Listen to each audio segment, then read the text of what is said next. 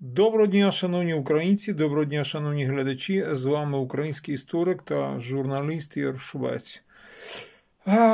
Традиції українців це грати на бандурі і плакати і жалітися на свою нелегку долю. Ну, це традиція така, ви знаєте, традиція. А чого ж жалітися, рідні українці?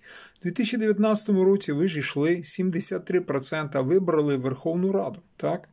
Вибрали Верховну Раду. А тепер. А тепер маєте кого маєте. Ви ж вибирали хлопців з вулиці і дівчат з вулиці.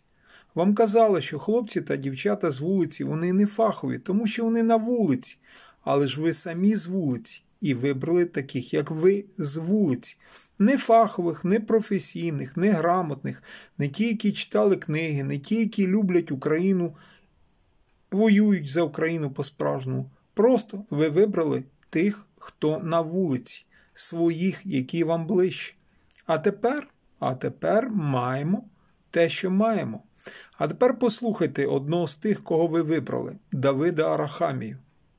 Давид Арахамі етнічний українець тере Абхаз, який під час війни скупив у себе в Абхазії в Абхазії все узбережжя, всі готелі. За чиї гроші? Скажіть, будь ласка. Ну, я думаю, за ваші гроші, українці. Так це ще не все. Днями він заявив, що Україна виробляє сотні тисяч мін, сотні тисяч снарядів, сотні тисяч одиниць броньованої техніки. Вдумайтесь, коли на фронті вже немає чим стріляти, патронів не вистачає.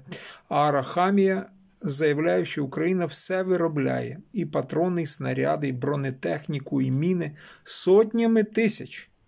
Скажіть, будь ласка, от як ви прокоментуєте ці слова? Як ви прокоментуєте того, кого ви вибирали? Давида Арахамію, етнічного Абхаза, який так турбується про Україну українців? З вами Ігор Швець. Підписуйтесь на канал. Дякую, до нової зустрічі!